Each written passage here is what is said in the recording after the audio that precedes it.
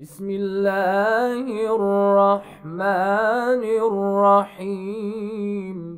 وقال الله لا تتخذوا إلهين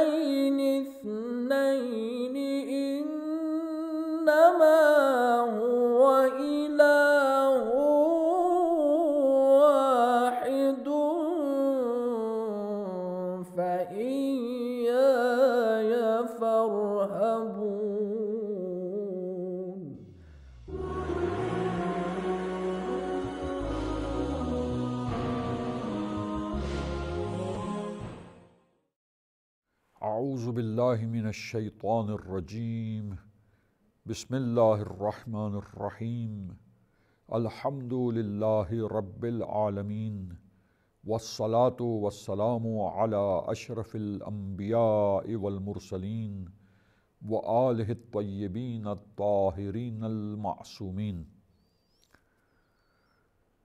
انسان کی حیثیت، انسان کا مقام، دین مبین اسلام کی نظر میں اسلام کی نگاہ میں انسان کیسا موجود ہے؟ کس طرح انسانوں کو دین نے سمجھایا کہ تم لوگوں کی اہمیت کیا ہے؟ تم لوگوں کا مقام کیا ہے؟ تمہیں کیا حیثیت اللہ تعالیٰ نے وجود میں لا کر عطا کی ہے؟ تمہیں وجود بخشا اور کیا عظیم مقصد اور فلسفہ حیات ہے تمہاری زندگی کا۔ عزیزان گرامی، کس طرح اسلام نے انسان کو پہچنوایا اور انسانوں کو اپنا مقام اور اپنی حیثیت سے آگاہ کیا ہے دین نے؟ یہ نکات معزز سامعین، محترم ناظرین کی خدمت میں پیش کیے جا رہے تھے۔ جب انسان اس دنیا میں امتحان اور آزمائش کے لیے بھیجا گیا۔ فائل مختار ہے انسان، صاحب اختیار ہے انسان۔ عقل و شعور کی نعمت سے حق اور باطل کو الگ الگ پہچان سکتا ہے۔ حق کیا ہے، باطل کیا ہے؟ اللہ نے ہدایت بھی کی اور ہدایت کا سلسلہ اللہ نے قائم کیا۔ ہدایت کا راستہ اللہ نے انسانوں کے لیے پیش کیا اور پھر انسان کی ہدایت کر کے، واضح طور پر عقل کی رہنمائی کر کے، ارشاد کرتے ہوئے، عقل کی تائید کرتے ہوئے، عقل کو راستہ دکھاتے ہوئے، عقل جہاں شناخت کر سکتی ہے اور پہچانتی ہے، وہاں اس کی تائید اور تاکید کرتے ہوئے پروردگار عالم نے سیدھے راستے کو، اور وہ راستہ جو کج ہے، ٹیڑھا راستہ ہے، اور اس راستے پر چل کر انسان تباہ ہو جاتا ہے، اللہ نے دونوں راستوں کو واضح کر دیا، دونوں سبیلوں کو پہچنوا دیا، بیان کر دیا انسان کے لیے۔ لہٰذا اب انسان صاحب اختیار ہے، وہ جس چیز کا چاہے ارادہ کر سکتا ہے۔ ارادہ کرنے کی طاقت اللہ نے اسے دی اور اپنے ارادے کے مطابق عمل کر سکتا ہے۔ چاہے تو اچھا عمل کرے ارادہ کر کے اور اگر برے عمل کا ارادہ کیا ہے اور برائی کو انجام دینا چاہے تو پھر اللہ نے اسے آزمائش کا تقاضا یہی ہے، امتحان کا تقاضا یہی ہے کہ وہ برا کام کر سکے اور اپنے ارادے اور اپنے اختیار اور جو طاقت اللہ نے دی ہے اس کو مس یوز کر کے اور غلط یوٹیلائز کر کے غلط استعمال کرتے ہوئے ان نعمتوں کو، ان طاقتوں کو، اس اختیار کو اگر انسان مس یوز کر کے گناہوں کے کاموں کو انجام دے، دوسرے انسانوں کے حقوق کو پائمال کرے، تو پھر مصول ہے انسان ذمہ دار ہے انسان، لہٰذا اس سے سوال کیا جائے گا ذمہ داریوں کو پورا اس نے کیا یا نہیں کیا؟ عقل کے تقاضوں کے مطابق عقل کی جو خصلت ہے کہ اس نے حق کو پہچانا ہے اور حق کی طرف راغب کیا ہے انسان کو، اب سوال اس سے کیا جائے گا کہ عقل و شعور کی نعمت کے مطابق اس نے معرفت پروردگار کو حاصل کیا یا معرفت پروردگار کے حصول سے غافل رہا ہے۔ اس نے بھلا دیا اپنے پروردگار کو۔ دنیا کی رنگینیوں میں مشغول ہو گیا۔ دنیا کی لذتوں کے حصول میں اس نے اپنے آپ کو مصروف کر دیا۔ دنیا کی مادی لذتیں جو ختم ہو جانے والی وقتی لذتیں ہیں، ان کے حاصل کرنے میں اور اس کو انسان نے اپنا مقصد بنا لیا۔ بھول گیا کہ اصل کس مقصد کے لیے، معرفت پروردگار کے لیے اور کمال حاصل کرنے کے لیے اصل آیا تھا، انسان کامل بننے کے لیے آیا تھا۔ لہٰذا جب اللہ نے عقل و شعور کی نعمت دی، اسے ذمہ دار بنایا، فرائض اس کے کندھوں پر عائد کیے ہیں، فرائض اس کے اوپر رکھے ہیں۔ لہٰذا مصول ہے انسان پوچھ گچھ ہوگی اس سے۔ اور جب پوچھ گچھ ہوگی، لہٰذا معاد اور قیامت کا دن اللہ نے مقرر کیا ہے۔ اس دن جب قیامت برپا ہوگی، وہ وقت جو معاد کا وقت ہے، جب تمام انسان اٹھائے جائیں گے اور اللہ کی بارگاہ میں پیش کیے جائیں گے۔ لہٰذا عقل یہ کہتی ہے کہ سوال ہونا چاہیے انسان سے۔ انسان مصول ہونا چاہیے جب اتنی بڑی نعمتیں ہیں۔ دین نے بھی یہی بات بتلائی۔ دین نے بھی اسی بات کی تاکید کی، سمجھایا کہ ہاں حقیقت حال اسی انداز سے ہے۔ جب عقل جیسی عظیم نعمت سے انسان نوازا گیا ہے اللہ تعالیٰ کی طرف سے اور یہ عظیم نعمت انسان کو ملی ہے، اس کا تقاضا یہ ہے کہ پھر ذمہ دار ہو اور پھر ذمہ داریاں اس اس پر ہوں اور ان ذمہ داریوں کے بارے میں اس سے سوال کیا جائے۔ اور اب اگر انسان نے ذمہ داریوں کو پورا کیا تو عقل یہ کہتی ہے کہ وہ کریم اور مہربان پروردگار جو اپنے بندوں پر رحم کرنے والا ہے، جو اپنے بندوں کو بے حساب نعمتیں دینے والا ہے، عقل یہ کہتی ہے کہ اس مہربان اور صاحب کرم اور کریم پروردگار کی طرف سے انسان کو اجر اور پاداش ملنی چاہیے۔ جب ذمہ داری کو پورا کیا اور اگر ذمہ داریوں کو پورا نہیں کرتا، کوتاہی کرتا ہے، نافرمان بنتا ہے، جھٹلانے والا بن جاتا ہے، معصیت کار بن جاتا ہے، گناہوں کو انجام دینے والا،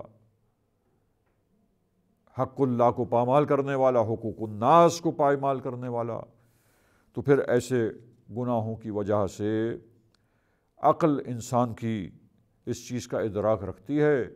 کہ لہٰذا ایک دن ہو کہ جس دن میں انسان سے حساب کتاب لیا جائے، انسان سے سوال کیا جائے اور دین یہی بتلاتا ہے۔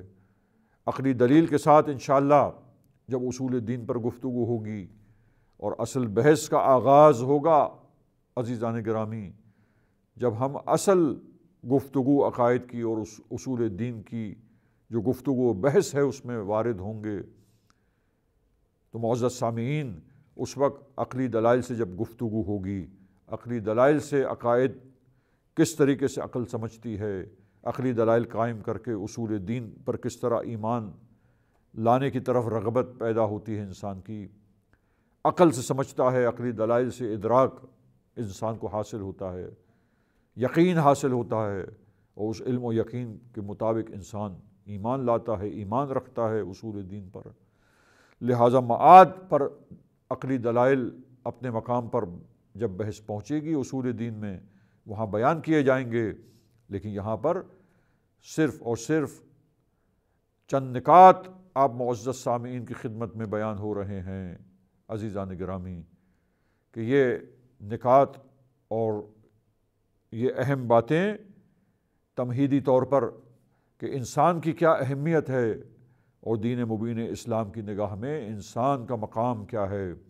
لہٰذا دیکھیے، انسان وہ موجود ہے کہ جو مصول ہے جس سے سوال کیا جائے گا اور اس نے ذمہ داریاں اور فرائض کو پورا کیا، اپنے پروردگار کی معرفت حاصل کی نہیں کی، عقل کی نعمت سے، اور اپنے پروردگار کی اطاعت کے ذریعے جو دستورات الہی تھے جو اس کی سعادت کے لیے قوانین بنائے گئے اور پیش کیے گئے آیا، ان قوانین پر عمل پیرا ہوا تاکہ سعادت مند بن سکے اور مصلحتوں اور فائدوں کا حصول اس کے لیے ہو۔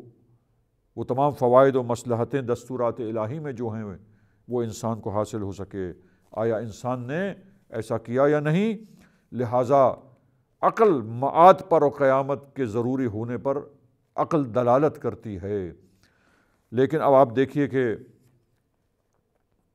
خود یہی چیز جو عقل ادراک کرتی ہے اور دلیل کے ساتھ اسے سمجھتی ہے، عقلی دلیل کے ساتھ ریشنل آرگیومنٹ کے ساتھ، تو عزیزان گرامی، قیامت کے لیے بے حساب آیتیں، کئی ساری قرآن آیتیں ہیں، روایتیں ہیں، وہ سب کی سب کیا ہے؟ دلالت کرتی ہیں کہ قیامت کا دن آنے والا ہے اور قیامت کا دن جب برپا ہوگا تو اللہ کی بارگاہ میں حاضر ہو کر انسان کو اپنے اعمال کا حساب کتاب دینا ہوگا۔ کثرت سے آیتیں ہیں۔ قیامت کو کثرت سے قرآن مجید میں آیتوں میں اس کا تذکرہ کیا گیا اور بیان کیا گیا ہے۔ کہ وہ دن آنے والا ہے کہ جب محشر ہوگا وہ تمام انسان محشور ہوں گے، تمام انسانوں کو اخروی حیات کے ساتھ پیش کیا جائے گا، زندہ کیا جائے گا اور جسمانی معاد ہوگی اور وہ لوگ اللہ کی بارگاہ میں حاضر کیے جائیں گے اور جب اللہ کی بارگاہ میں حاضر ہوں گے، ان سے حساب کتاب لیا جائے گا اور اس کے بعد پاداش ہے، سزا اور جزا کا مرحلہ ہے اور بہشت ہے اور دوزخ ہے۔ وہاں بے حساب بہشتی نعمتیں نیکوکار انسانوں کے لیے، ان انسانوں کے لیے جنہوں نے اپنی ذمہ داریوں کو پورا کیا۔ اللہ تعالیٰ نے بے حساب بہشتی نعمتیں ان کے لیے رکھی ہیں۔ بہترین اجر و پاداش اس کے لیے قرار دیا گیا ہے، مقرر کیا گیا ہے۔ اور اسی طریقے سے اللہ نے آگاہ کیا، یہ آیتیں بتلاتی ہیں کہ جن انسانوں نے غفلت کی اور برے اعمال کیے اور اپنی ذمہ داریوں کو پورا نہیں کیا۔ غفلت میں مبتلا ہو گیا اور برے کاموں کو انجام دیتا رہا۔ حق اللہ کو پامال کیا، حقوق الناس کو پامال کیا اور اپنے مفادات کے لیے، اپنے مقاصد کے لیے۔ اپنی دنیاوی لذتوں کے حصول کے لیے اس نے دوسروں پر ظلم ڈھایا، دوسروں پہ مظالم ڈھائے اور ظلم و ستم کا بازار گرم کر دیا۔ تو عزیزان گرامی، دوسروں کے حقوق کو پامال کرنا، دوسروں پر مظالم کرنا، گناہوں کا ارتکاب کرنا، اللہ کی نافرمانی کرنا، لہٰذا یہ وہ اعمال ہیں جن کی وجہ سے انسان جو ہے آخرت میں خسارہ اٹھانے والا ہوگا۔ اور اسی بات کو اللہ نے بے حساب کثرت سے آیتوں کے اندر بیان کیا ہے۔ سورہ مبارک ہے عصر۔ آپ دیکھیے کہ بسم اللہ الرحمن الرحیم والعصر، ان الانسان لفی خسر۔ عصر کی قسم ہے کہ بے شک انسان جو ہے وہ گھاٹے میں ہے، خسارے میں ہے۔ قیامت کا تذکرہ ہے کہ جب قیامت برپا ہوگی انسان جو ہے وہ نقصان اٹھانے والے ہوں گے۔ کون انسان نقصان اٹھانے والے ہیں؟ کہ جنہوں نے ذمہ داریوں کو پورا نہیں کیا، جنہوں نے اپنے پروردگار کی معرفت حاصل نہیں کی، اطاعت نہیں کی پروردگار کی۔ اور وہ سنہری اصول، وہ دستورات دین جو انسان کی سعادت کے لیے آئے تھے، ان پر عمل پیرا نہیں ہوا۔ اسلامی تعلیمات کو اس نے اپنے وجود میں اپنی زندگی میں نہیں اپنایا۔ ان تعلیمات کو نظر انداز کر دیا۔ ان تعلیمات پر عمل کرنے سے انکار کرتا ہے اور گناہوں کا ارتکاب کرتا ہے، معصیت کرتا ہے۔ دستورات کی جانب توجہ نہیں کرتا۔ ایسے انسانوں کے لیے یہ اثر کا جو زمانے کی قسم یا اثر کے وقت کی قسم کھا کر اس سورہ مبارکہ میں بیان کیا جا رہا ہے کہ انسان گھاٹے میں ہے۔ لیکن کون لوگ کامیاب ہوں گے؟ دیکھیے، کن لوگوں کو کامیابی اور سعادت ملے گی؟ کن لوگوں کو بہترین اجر اور پاداش ملے گا؟ اس کا تذکرہ ہے کہ الزین آمنو و عامل الصالحاتی مگر وہ لوگ جو ایمان لائے اور نیک اعمال کرتے رہے، لہٰذا وہ لوگ نجات پانے والے ہوں گے۔ وہ لوگ سعادت مند ہوں گے۔ لہٰذا ہم دیکھتے ہیں کہ یہ مثال کے طور پر ایک آیت کریمہ آپ کے سامنے پیش کی گئی۔ اسی طریقے سے آپ سورہ زلزال دیکھیں۔ اذا زلزلت الارض زلزالها و اخرجت الارض اسقالها وقال الانسان مالها جب بھونچال آئے گا، زمین کو قیامت کے دن اور روز قیامت برپا ہوگا۔ جب معاد کا وقت آئے گا تو زمین میں ایک بھونچال اور زلزلہ رونما ہوگا اور زمین جو ہے وہ سب کچھ باہر نکال دے گی۔ لہٰذا جو انسان اس میں دفن ہو چکے ہیں اور جو کچھ اس زمین کے اندر ہے وہ زمین سب باہر نکالے گی اور انسان معشور کیے جائیں گے، اللہ کی بارگاہ میں حاضر کیے جائیں گے۔ لہٰذا یہ مثال کے طور پہ ایک دو آیتیں کثرت سے قیامت کا تذکرہ، کثرت سے قیامت کا ذکر اور قیامت کا بیان معاد کی طرف توجہ دلائی گئی کہ انسان کے اعمال کا نیک نیک اعمال کا نیک سلا انسان پائے گا اور برے اعمال کا برا انجام اسے نظر آئے گا قیامت میں۔ لہٰذا اچھوں کے لیے بہشت اور گناہ گاروں کے لیے دوزخ ہے عزیزان گرامی۔ پس یہ جزا اور سزا کا نظام اس کی طرف اسلام نے بہترین طریقے سے انسانوں کو توجہ دلائی کہ تمہیں کنٹینیوٹی ہے اور تسلسل ہے، ہمیشہ باقی رہنا ہے۔ لہٰذا وہاں حساب کتاب کے بعد اجر اور پاداش اور جزا اور سزا کا نظام ہے۔ لہٰذا ہوشیار ہو جاؤ، خبردار ہو جاؤ۔ وہ صلی اللہ علی محمد و علیہ الطاہرین۔ لنا